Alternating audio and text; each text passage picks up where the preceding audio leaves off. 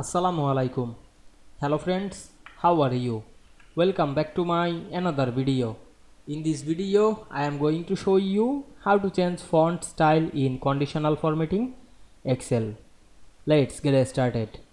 At first, you have to open your Excel workbook.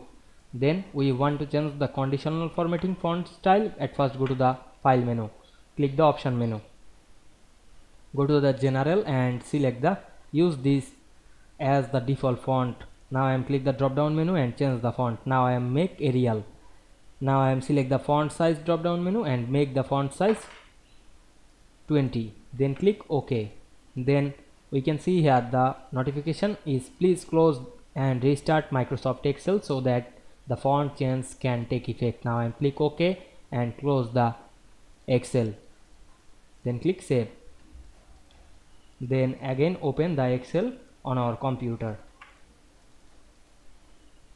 Then create a blank workbook.